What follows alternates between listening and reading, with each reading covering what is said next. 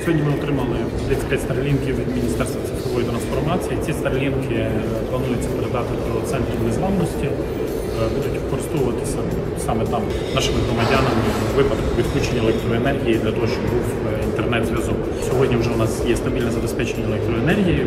Якщо надалі так буде відбуватися, то можливо ці старлінки будуть використовуватися в центрах для ВПО в майбутньому також, щоб у людей був завжди інтернет або десь, наприклад, в гірських місцевостях. Так чи інакше будуть служити нашим громадянам.